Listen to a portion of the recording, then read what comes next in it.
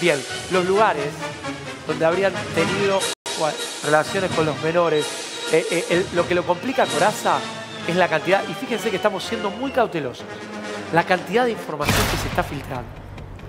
Por eso yo digo, van a tener que salir a hablar. Las escuchas. Las escuchas, ya tenemos las escuchas, se lo quiero contar. Dale, decime. Lugares en donde violaban, a ver, digo violar Sí, sí, para sí. que se entienda, abuso claro, sexual está con claro. acceso carnal a Está menores claro. de edad, Que no, a por más que hombres, presten consentimiento, es lo que vos No hay decís. a niños, No hay consentimiento. masculinos. No hay consentimiento. Abuso sexual, autos, autos particulares que estacionaban en diferentes esquinas de la ciudad de Buenos Aires, dentro de los autos. Bien, eh, esta, es esta es la de camioneta de los Coraza. lugares, ¿eh? sí. Esta es la camioneta de Coraza, que probablemente porque, o sea, no en vano la filmaron. Esto, esto que estamos mostrando desde el operativo, Hmm. en esta camioneta pudo haber cometido algún tipo de, ADN. de situación. Bueno, ¿no? puede ser que la de- Va a ser sometida a pericia. Más que Claro, seguro. Bien, ese bien, es uno de los lugares. Sí.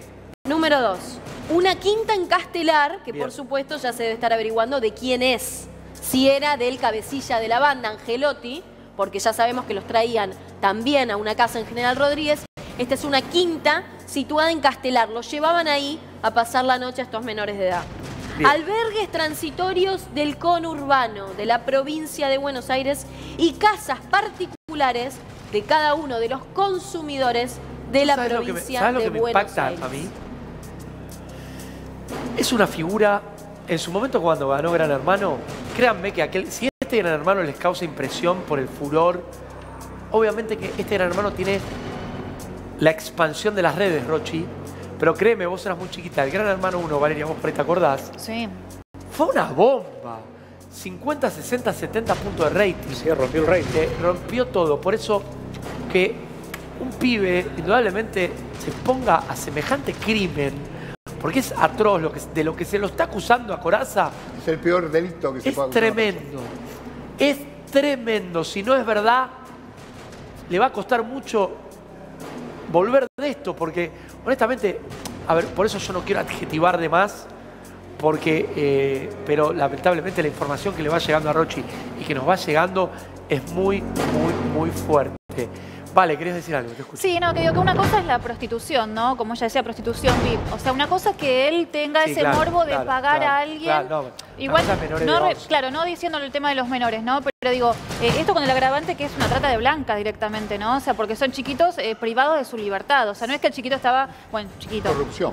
Claro, pero digo, no es una persona que decide prostituirse y de eso eh, le dan una comisión, ponele. Esto era totalmente ilegal por donde Claro. lo mires, ver, o sea, saquen- menores y trata de blanca. No, que acá eh, claramente yo entiendo que, este, que hay que dejar avanzar a la justicia. Son No, no, delitos muy graves. Son muy graves. Son delitos muy graves. ¿Tiene abogado, Coraza? ¿Se sabe ya el abogado? No, no, hasta Los de momento no Telefe lo están defendiendo.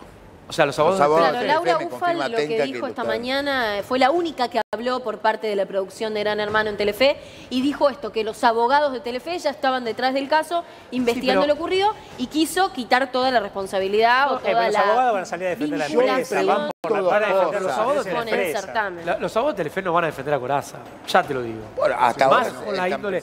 eh, los abogados de Telefe, y lo dije yo cuando empezamos el programa, re- acá no hay responsabilidad ni de Cuarzo ni de Telefe. ¿Y quién está borrando de Instagram las Pero cosas? porque es lógico, porque si, Es si la, moralmente, pero entonces no la va. acusa- pero la acusación es muy grave y el canal, que insisto, porque uno ha trabajado ahí muchos años, y es un canal, siempre se lo conoció como el canal de la familia. Esta bomba de tener un empleado acusado de pedofilia y, y corrupción de menores, no cae bien. Quiero revisar No los cae castings. bien. Yo sé lo que se está hablando te- te seguramente digo- en te este una momento. cosa, y debe ser un, un grano en el trasero. Diego, te digo una cosa. ¿eh? Sí. Acordate, el abogado que lo va a defender se lo va a poner la gente que está dentro de los dispositivos secuestrados. Cuando esos dispositivos se abran Bueno. y se analicen, guarda con los nombres que van a surgir, porque estamos hablando de prostitución infantil VIP.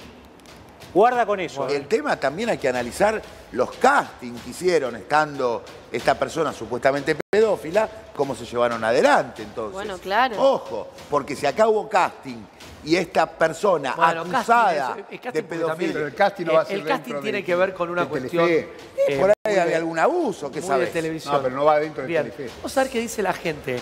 En el, eh, perdón, eh, voy a hacer una cosa. Me está explotando el teléfono. Yo les pido que entiendan que trato de ser cuidadoso por Hasta mi no va. pasado en la casa productora del programa y en el canal, ¿no? Eh, y por conocer a, a muchos de los personajes, en particular eh, a Marcelo menos, no era mi amigo, pero claro que lo conocía. Y la verdad que me sorprende muchísimo.